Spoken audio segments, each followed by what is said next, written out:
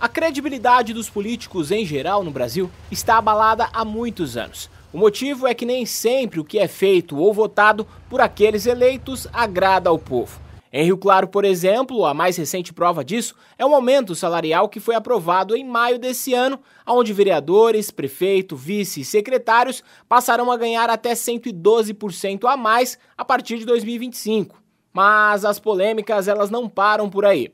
Além dos aumentos de salários, recebimento de 13º e um terço de férias, entre os projetos aprovados nesse pacotão de benefícios da Câmara Municipal de Rio Claro, ainda coube mais um, a volta do recesso de meio de ano, o que não acontecia desde 2017 e agora voltou.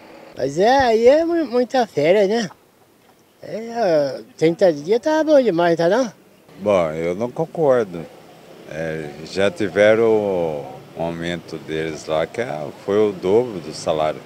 Eu acho que não é justo né, para o pessoal, né?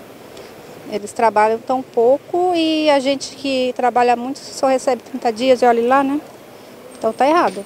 Até então, os vereadores tinham apenas um recesso das sessões, que era no fim do ano até o começo do ano seguinte, o que dava 48 dias no total.